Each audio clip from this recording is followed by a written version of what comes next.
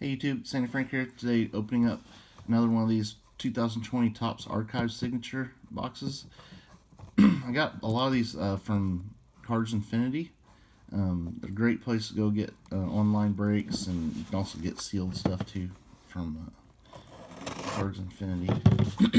and these you get one card but it's slabbed in a, a, a uh, mag holder and it's a buyback card with the on card autograph. So pretty cool really neat product. So let's see what we get. Um, seems like this case that I've been buying out of has a lot of Bowman cards in it.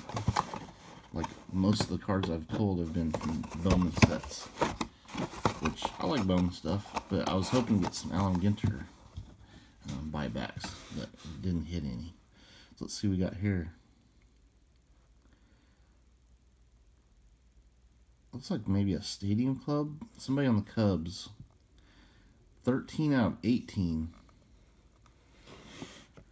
Kyle Hendricks, league leader. This is um, I think it's like 2017 Topps. So Kyle Hendricks, league leaders card. And that is, uh, I don't know if he's still on the Cubs, but uh, that's interesting. I don't have Kyle Hendricks auto, so I'm definitely getting some autos I don't have in my collection.